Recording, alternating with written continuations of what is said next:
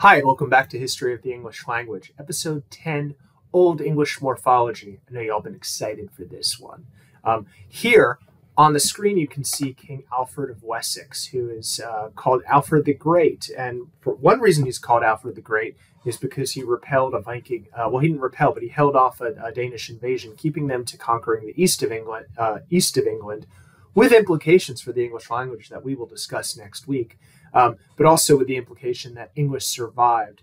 And he also um, uh, introduced uh, educational programs and uh, monastic cultural production programs that uh, ensured that there was an abundance of Old English texts that survived. Uh, one of the, the, the upshots of this is that the forms that we're going to be looking at today, the forms of nouns and adjectives and pronouns and articles, are largely the dialect of Old English known as West Saxon. Most of the texts that survives that survive are in the West Saxon dialect spoken in Wessex, which is a compound of West Saxon. Um, so let's talk about morphology. I know, I know, it's it's exciting. Uh, what's a phrase? A phrase, just to review, is a group of words that work together that function equivalently as one word. So for example, you have a verb phrase, and walk is a verb, but it's also a verb phrase. And if I say I walk, walk is a verb phrase. If I say I walk with my friend to the store while she's uh, petting her dog and I'm talking on my phone, all of that is a verb phrase too, because that whole chunk is substitutable for walk or ride or drive or whatever. So that's a phrase. A noun phrase is, is works the same, right? A noun is, let's say, stone right? Like a stone on the ground. The mossy stone, which my friend gave to me yesterday, still all a noun phrase, right? Still all chunked within that noun. Um, okay, so noun phrases. Let's talk about Old English morphology here and, and about what we can expect from noun phrases. Uh, Old English is a more complicated inflectional morphology than modern English. If that if you don't if you're not understanding that at the moment um, uh, then you will by the end of this video i hope. But what it basically means is that um, just like we have pronouns that change form according to case gender and number he him she it they them um, in old english nouns change form too according to case gender and number. In this respect the old english noun more closely resembles the case system of modern Germanic languages like German or Danish or Norwegian or Swedish. Substantives is um, a word that's sometimes used to describe particularly nouns and adjectives. And so nouns, pronouns, demonstratives, um, which includes the article, uh, the, this, that, are all demonstratives, um, all have four cases. And if you've studied Latin at all, you know what a case is, and you're probably maybe maybe you're a little traumatized by it by having to go, you know, agricola, agricolae, agricolae, agricolam, agricola, because you were made to remember the different cases of the noun. Cases are forms, often endings ended uh, appended to a stem, that indicate the function of a noun in a sentence, uh, such as subject, direct object, indirect object, or possessive, and there's many other functions as well. There's like instrument, location. There's all different um, things that a noun can be doing in a sentence. Um, there are four cases in Old English. There is the nominative case, and this is this this indicates the subject of a sentence from the Latin word nomen, meaning name. There is the genitive case, which which indicates the possessive, and in fact, the modern English possessive s is actually the survival of the Old English genitive, which usually used an S. So like Jonathan's, that's a case ending that's at the end there. Uh, we think of it as a, as a suffix because of the printer printing convention of using an apostrophe. Uh, but it's a case ending. It's a, it's a modification of the word. Uh, genitive can also be used to indicate material, a sword of iron, and can indicate um, what's called the objective or subjective genitive, or it's attached to a, uh, a noun that has a verbal force. Like for example, love is is a noun, but the noun but it names an act or a, or, or a doing, right? So a love of learning is an example. That of learning is an example of an objective genitive phrase. Um, the dative is uh, the case that indicates the indirect object, um, as in I gave the ball to my friend. And the word dative comes from a Latin word dodare, meaning to give. So there's that idea that um, the indir- that the dative indicates the indirect object or the beneficiary. Um, and then there's the accusative. Uh, and, they, and the root word of accusative is the same as the root word in percussion, um, which is to strike, right? So it's the thing the action hits, the direct object. Um, it can also indicate direction, as in I'm going home. The word home in Old English would be um, indicated by the accusative case sometimes if it's not put into a pronoun phrase. Um, so let's talk about Old English person and Old English personal pronouns. And I'm going to hold off on talking about um, using cases versus pro, um, pronoun phrases because that gets into syntax, which is the object of the, the next week's work. Um, so let's talk about pronouns. Everyone's talking about pronouns these days. It's a big topic. Let's talk about the Old English pronoun, where we have three genders. Oh my goodness. Um, there's a singular. Uh, there's a, a. There's a uh, uh, masculine, feminine, and neuter gender. Um, uh, that's only in the third person. In the first person, we have common gender. It's called. It's, there's a, that first person is I or we. Second person is you or you all, and the third person is he or she or they or them if you're using that, uh, and then um, the uh, uh, they or them plural as well. So let's let's look at this. Okay, this is a big t- informa- uh, information. There's a lot of data here, but let's make some sense of it in order to figure out um, what is similar to modern English and what is different from modern English, what we have kept, what we have gotten rid of, uh, what is distinctive about Old English, and what connects Old English to other Germanic languages. Let's look at the first person nominative, the subject pronoun. I is in Old English ich, which is equivalent to in the modern German ich, right?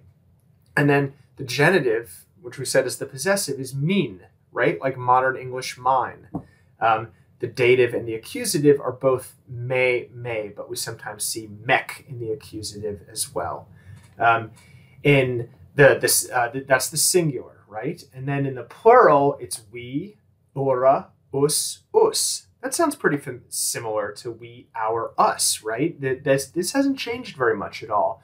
Um, the pronoun systems tend to, to be conservative in the sense that they're slowly changing, which is one of the reasons why linguists, historical linguists, using the comparative method, um, look at pronouns as, as uh, uh, to compare languages and, and track de- descent. Um, what is this dual business? Well, in old German, in, in Indo-European languages before Old English, most um, languages had a dual form, which means not one, not many, but two. Right? There's a specific form for two. Uh, and and in, in Old English it was wit, unker, uncher, unch, unch, unche. And then the second is yit, incher, inch, inchit, right? So that would just refer to two people. There's no third person dual though. That had dropped out by Old English. Um, you don't find these too much in West in West Saxon texts. Actually, these tend to be common in earlier texts, which are often inscriptional. Um, so let's look at the second person, thou, which you might recognize from Shakespearean English as thou. Right, the, the thou is the singular and later the informal you. Thou, thine, they, they, or in early modern English, thou, thine, thee, thee right? So this survives for a while, if not um, more to the present day. And then the plural is ye. Remember that a G, uh, from the last video, that a G before a high or a front vowel is pronounced like a ye. So ye, ye, ye, ye generation of vipers, right? Eor, eor, ew, ew, ew, no, no, ew, ew, or ewich is the accusative. So I ye are cool. Is that your parking spot? Um, I'm giving this to you. Hey, I see ew, right? And you can see how that that that diphthong there, ew, how the first vowel eventually got simplified to the semi-vowel. It's because for uh, because of the principle of ease of articulation. It's all coming together. All right, that's the uh, second person, and then in the third person we have in the singular masculine, hey, his, him, Whoa, that's almost exactly the same, except we have this accusative case, hinna. Heu, hira, hira, hie, that's the feminine. Heu is the feminine. So he is the masculine, Heu is the feminine. That could get a little confusing, and sure enough, later in the Middle English period, Heu will be replaced by the form she, which is actually borrowed from Old Norse, which we'll talk about. And then the singular neuter hit, his, him, hit. And that hit, the H will drop out eventually and it will become it. The plural, Old English third person, is he, hira, him, he. Hie, hira, here. And this will be almost entirely replaced by the Old Norse uh, third person plural pronoun, those notorious culprits of so much recent controversy, they, them, their. Thank you, Vikings, for those awesome pronouns. All right, let's move on from pronouns then, uh, so we don't make this video too long. All of this is meant to support and explain material that you can find in any old history of the English language textbooks. Uh, it's in chapter four, section uh, chapter four, uh, of your um, uh, Van Gelderen uh, History of the English Language, if that's the textbook you're using, as we are in my class here at Missouri State. The demonstratives. Uh, let's talk about demonstratives. What's a demonstrative? You may have heard of a demonstrative pronoun like this or that, or what are those? Um, sorry, very, very old meme. Demonstrative articles. Uh, demonstratives include demonstrative adjectives, but they also include articles. Um, and in, in linguistics, these are both together uh, grouped under the category of determiner. So in um, the Old English, we had se, tha, tham. I think it's actually, this should actually be, uh, ah, uh, the dative should be tham too, but se, thas, tham, thona. Seu, thara, thara, tha. That, thas, tham, that. And the plural, tha, thara, tham, tha. Whoa. Okay, so in English we have the word the, pretty much. In Old English we have it's these 16 different forms of the, which is very similar to modern German. One of the one of the things that makes learning German tricky uh, for English speakers, where we're not used to this kind of thing. Learning German will be much easier for a Dutch speaker, where they all already have that category for different uh, um, declensions, different uh, form, morphological forms of uh, the the article. Now, there's no difference between the article and the demonstrative pronoun. So, like the um, also means that. So these could be used in combination with nouns. So, you know, um, neuter that shipu, that ship, right? Or um, it, these could be used alone. So could just mean this one, right? Or or him or he, right? Uh, but it would be more likely to just refer to a non-person since personal pronouns they're, they're there to refer to people these are more likely to refer to things and will agree with the thing that they're referring to the gender of the noun that they're referring to even if um, the noun itself isn't named it's been dropped because it's already been talked about um, so uh, a little bit more about substantives. Substantives are nouns and adjectives. And in a noun phrase, each element that um, will agree in case, gender, and number. This is where the rubber hits the road, and I'm going to I'm to sort of give you a little demonstration about how these cases work in Old English. Um, let's say let's take the ver- the noun phrase the good stone. The good stone rolls downhill. Here it's the subject. So the good stone, that noun phrase is going to be nominative. This is a piece of the good stone, then it's going to be genitive. I leave a flower on the good stone, going to be dative. I see the good stone, or I throw the good stone, or I heat up the good stone, all accusative. And I borrowed this example from an older, uh, um, well, that's still around, but it's more expensive, so I don't assign it. The Baugh and Cable History of the English Language, which is kind of the classic standard. Um, there are several declensions or paradigms of substantives grouped into strong and weak. Um, you can read about this in Van Gelderen on 64 to 67. Strong ad- adjectives are used when there is no demonstrative. Good boys um, will use a strong verb form of good uh, versus those good boys in which good will be have a different declensional pattern, a different way that it'll uh, take the case endings, and it'll be weak.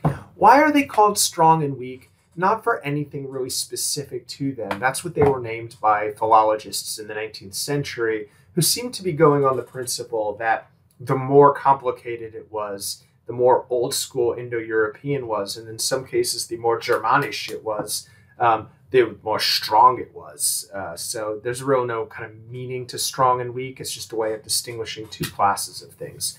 Okay, old English noun phrases. By the way, if if you're if you're still watching, I'm really impressed because this is dry stuff. Um, let's look at the good stone rolls downhill. That will assume the form if it's just good stone rolls downhill, like you're just like Frankenstein or something, it would be good stan. If it's a weak adjective, it would be segodstan. And, and here we see the use of the demonstrative. The genitive, godis stanis. The weak adjective, thus godan stanis. The strong adjective here, godam stana. Weak adjective, tham godan stana the accusative godnastan, thonagoranstan. Now you can see there's more distinctions in the strong form of the adjective because it's doing some of the work that's taken over in the weak adjective phrases by, eh, by the um, demonstrative. Uh, as you can see, the, the noun, the adjective, um, and, the, and the determiner, the demonstrative, all agree with each other in case, gender, and number. I'm not here to teach you Old English, but I'm here to teach you the distinguishing characteristics of Old English, what makes it different from later forms of English. And this um, case system drops out in Middle English, uh, which you may be maybe you'll be thankful for. But if you know if you learn a language with the case system, it just goes right into your brain without any effort. I mean, Russian kids learn a, a, language where every noun has seven cases. They don't see they seem to have no more of a problem learning Russian than little baby English speakers have learning English. Human mind's amazing like that. All right, this video is getting up to the maximum that I like to do for um, any one of these videos, so I'm going to cut it short, and then we're going to talk about verbs in the next video. Why don't you join me?